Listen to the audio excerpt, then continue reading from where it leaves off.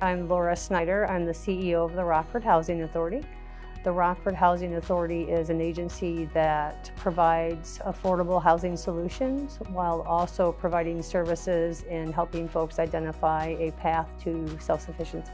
The reason we looked into digital signage is because of COVID-19.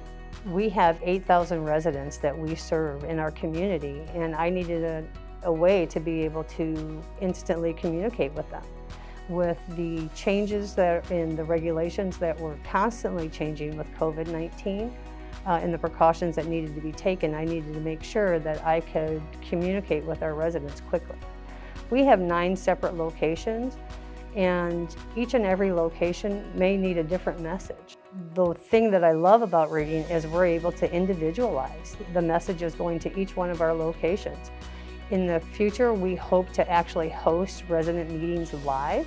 I am envisioning a day where they're sitting in their apartment and we are reaching our largest facility, 292 people, all at once from one location. We chose Raydiant because of the simplicity and the opportunities through the marketplace. We can, me in particular, can create attractive signage in a moment's notice. Through their marketplace, they have videos, they have templates. And for me, a person that is not tech savvy whatsoever, I know enough to make me very dangerous, it's very easy for me to use.